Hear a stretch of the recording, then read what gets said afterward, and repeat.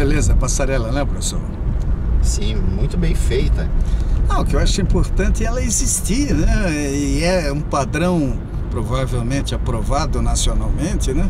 Hoje eu fui até Campina Grande do Sul e vi que na altura de Campina Grande, não lembro como é que chama a comunidade ali, estão fazendo outras duas com outro estilo. Lá ela não é assim de metal, pelo menos a base dela e os pilares são de concreto.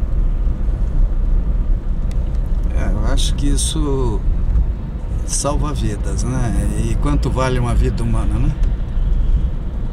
Então, a passarela, mesmo que simplificada, ela é importante, né?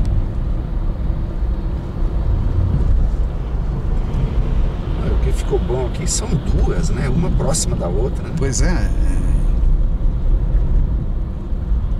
E aos poucos o pessoal vai aprender a usar.